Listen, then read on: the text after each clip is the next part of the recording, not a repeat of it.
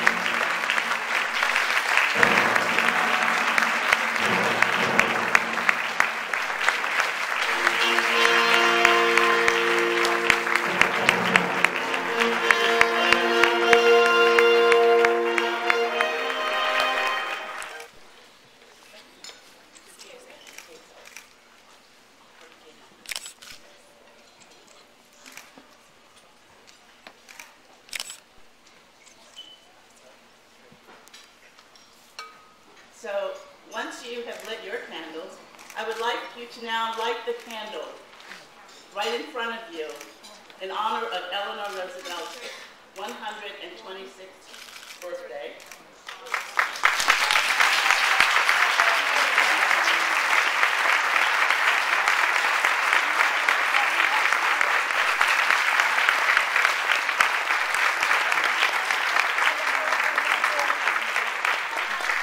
As this shines throughout the rest of this event, may it rekindle in all our hearts the resolve to carry on the work of this unique and remarkable individual and those who are here that you've heard from, whose spirit is needed now more than ever before, not just the spirit,